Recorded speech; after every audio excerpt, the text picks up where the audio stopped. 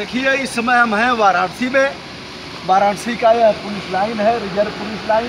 इधर कार्यालय, पुलिस उपाधीक्षक, भ्रष्टाचार निवारण संगठन, जहाँ रिश्वत ली जाती है, जहाँ विधि के विरुद्ध काम होता है उसकी शिकायत यहाँ की जाती है और यह लोग उसे, उस लोक सेवक को जो घूस लेता है, उसे पकड़ते हैं, जेल भेजते हैं।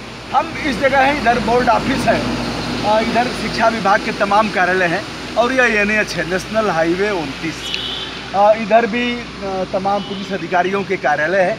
यह बजबजाता हुआ जल जमाव जो प्रधानमंत्री जी का संसदीय क्षेत्र है जिसे क्योटो कहा गया हम क्योटो बनाएँगे।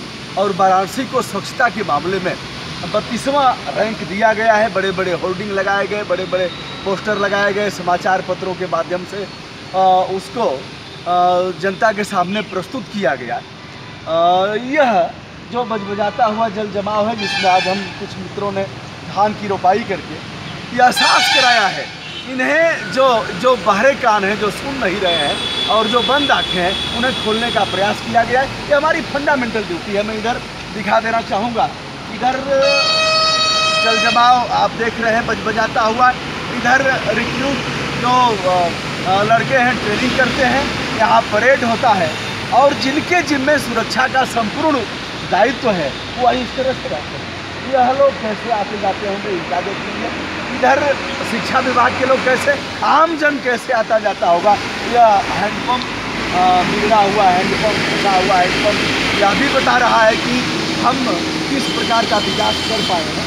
हम यहाँ धान की रोपाई करके अपने फंडामेंटल ड्यूटी का पालन कर रहे हैं और अपनी बात हम प्रधानमंत्री, मुख्यमंत्री, यहाँ के जिला अधिकारी यहाँ का जो मेयर है और जो जिम्मेदार अधिकारी हैं विकास का गुरुतर दायित्व जिनके ऊपर है उनकी आँखें खोलने का प्रयास कर रहे हैं। आशा है इनके ज्ञान चक्षु खुलेंगे। ये हमारी फंडामेंटल ड्यूटी है जिसका हम पालन कर रहे हैं। भारत के संविधान के अनुच्छेद इक्यावन क में यह बातें हैं कि जहाँ भी कहीं अनियमितता होगी जहाँ भ्रष्टाचार होगा जहाँ लोकहित प्रभावित होगा वहाँ आम जन का यह कर्तव्य होगा कि उसे उजागर करे।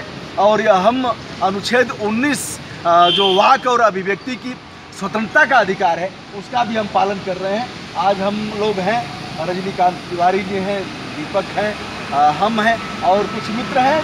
धारा 144 लगी है भैया तो हम लोग तीन लोग ही धान की रोपाई कर रहे हैं। हमारे ऊपर कोई अफेंस नहीं बनेगा। आज हम हैं तीन अगस्त दो हज़ार सत्रह को। पुलिस लाइन के ठीक सामने भ्रष्टाचार अनुसंधान विभाग वाराणसी के पास। बहुत बहुत धन्यवाद।